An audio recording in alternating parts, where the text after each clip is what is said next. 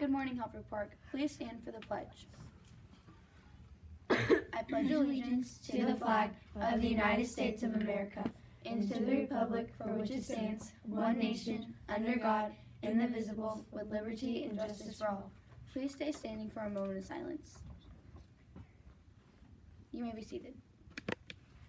Good morning. It is Wednesday, October 9th, today at the park. Happy birthday to Olivia Bruger. Come see Mrs. Shopker for a birthday pencil.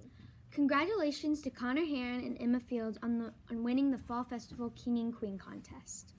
Tug of War team put forth a great effort last night. Great job, poolers. We are on a PM assembly schedule today. We will not have win at the end of the day today.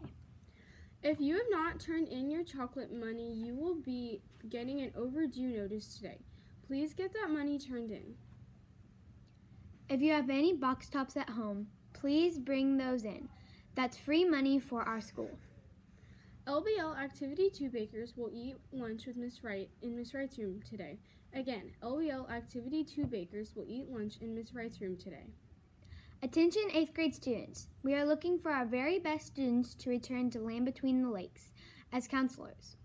If you are interested in working behind the scenes to make this a great trip for our 6th graders, please pick up an application on the bulletin board outside Mr. Hartman's room. These applications are due back to Mr. Hartman by Thursday. If you plan on staying after school for study tables, you need to sign up in the attendance office this morning, and you will need to bring work after school.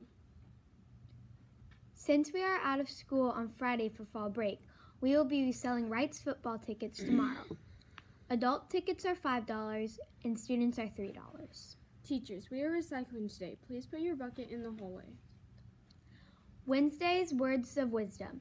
Knowing is not enough, we must apply. Willing is not enough, we must do. Bruce Lee, martial artist. Today is popcorn day. After school, we have cheer practice and study tables until 4, 6th, 7th, and 8th grade girls basketball tryouts until 5. Lunch today is chicken bites with a roll. Be strong. Be proud. Let's hear you roar. Have, Have a, a Pumerific day.